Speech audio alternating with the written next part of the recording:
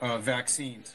You know, now um, you know the president has received probably at least five doses of vaccine, as uh, you know a lot of us have, uh, and has also had the virus once, and that has really you know all of those elements uh, serve to increase uh, his immunity. Plus, he, you know, we also have Paxlovid now, and uh, we've already heard that he could take Reiner, a dose of that.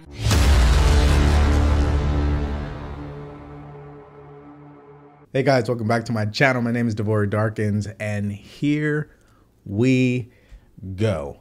So, the President of the United States just tested positive for COVID. Uh, there's a couple of other stories out there uh, about his mental state and now his physical state. And uh, some people are starting to think this is a little fishy and, and not to create any conspiracies here or anything like that. Um, it's it's getting a little crazy here. So what we're gonna do is just react to this news. Uh, there's a couple other insights about this, and before we do, you already know what to do: like, share, and subscribe. Let's play the video listening and taking his remarks live uh, here in the Situation Room until this announcement that uh, the president has been tested positive with COVID. I want to go back, uh, Ana Navarro, thank you very much. I want to go back to CNN's Kayla Tausche. She's on the scene for us as well. Kayla, I take it the White House has issued a statement uh, explaining uh, what, what is going on? The White House has just issued a statement confirming the president's diagnosis and saying that his symptoms are mild and he will be returning to Delaware, where he will uh, self isolate and follow CDC guidance as far as his activities from there, but he will be carrying out the duties of the presidency remotely from Delaware, according to Karine Jean Pierre, the White House press secretary. The statement also includes a section from the president's doctor that says that he began experiencing some symptoms this afternoon, including uh, upper respiratory symptoms a runny nose, and a non productive cough. Uh, the doctor goes on to say that he felt okay for the first event of the day, but when he was not feeling better, uh, they decided to administer a COVID test. Uh, he says that the president does not have a fever, that his blood oxygen level is 97%, and that President Biden has received his first dose of Paxlovid, of course, the uh, treatment for COVID that the president last took in July 2022 when he last had COVID. But of course, this is not uh, the only time in recent weeks that the president has been feeling under the weather. He told the hosts of Morning Joe on MSNBC a few weeks ago that he received a COVID test around the time of the presidential debate in late June when he had a cold at that time because he was feeling so poorly, uh, an attribute that he continues to point to to uh, defend his performance on stage that has spurred this crisis of confidence across the Democratic Party. So the White House confirming the president's diagnosis, saying his symptoms are mild. He's returning to Delaware and he is currently being treated with Paxlovid. Guys. When you physically see him walk and you hear him speak, does he sound like someone who is, you know, really able to do the job? You know, the president of the United States? That is a very demanding job. Think about the energy that it requires. And it doesn't matter what side you're on, is at a certain point this has to be elder abuse. I mean, what like why do they keep I believe right now what they're doing is they're really pushing him, right? And obviously it might be his own doing because he's defiant. He does not want to step down out of the race and he's going to keep pushing forward. Um, but every time we see him is such a sad situation. Let's actually take a look at this interesting information as well. So I have no way to truly verify this information here. However, I did see this on here and thought it was interesting.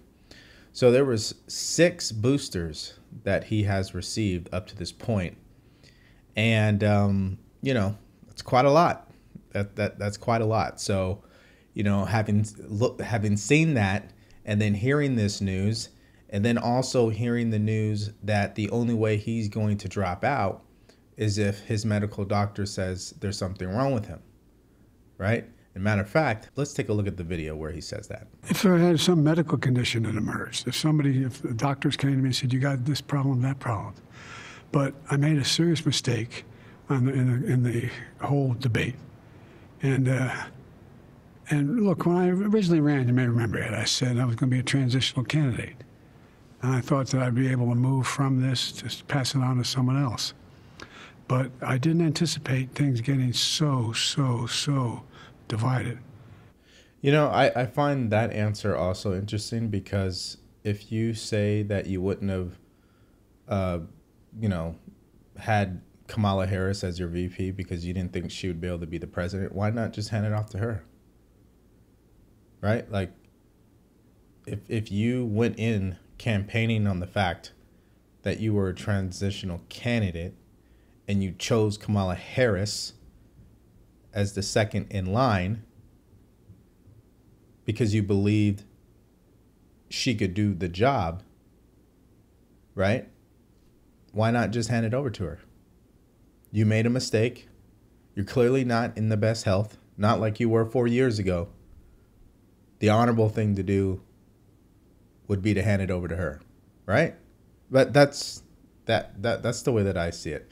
And you know, I just think that's common sense, right? I mean, if Donald Trump is such a threat to democracy and he's this big big serious serious serious threat and our country will be lost forever, why not just give it to her then? She's young, right? She's younger than you. Dana, what are you learning? There's a scramble going on right now, both in Wilmington and at the White House, but right now mostly in Wilmington, of course, where the president's campaign headquarters is, because they're trying to figure out how to salvage as much of, if they can do any of, the schedule that the president had planned. If they can do any of it remotely, if he can do anything from uh, his home in Rehoboth. They obviously don't know the answer to that uh, primarily because they're not going to know how he feels. But the hope inside uh, the campaign headquarters is that they can at least salvage some communication between uh, the president and voters, voters who he desperately needs to continue to connect with. Um, I cannot understate, uh, excuse me, underscore what David Chalian stated earlier enough, which is the feeling is, are you kidding me? This is yeah. the absolute right. last thing that they need, and that there is definitely a feeling that President Biden and the campaign around him just can't catch a break right now uh, because this was the moment, especially as this uh, as this convention comes to an end tomorrow, and the focus hasn't really been totally away from President Biden, but it's been uh, away a little bit, but the focus is going to turn even more to President Biden and what is going on with him, that they needed yeah. him to be out, to be robust, and to be campaigning. Yeah, I mean, listen, there's no sympathy here. They put themselves in this position, right? You only use Joe Biden to run as president because at the end of the day, you guys did not want to elect Bernie Sanders. I don't know if you recall that.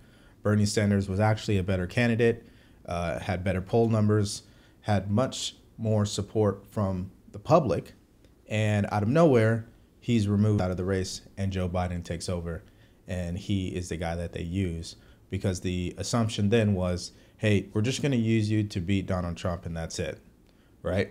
And not only are we going to do that, but we're also going to put Kamala Harris on your ticket, so it is in a line with our identity politics because that's what Democrats do. They run on identity politics, meaning the color of your skin, your gender, right? That's what they want to put forward in their messaging. And, you know, they were successful.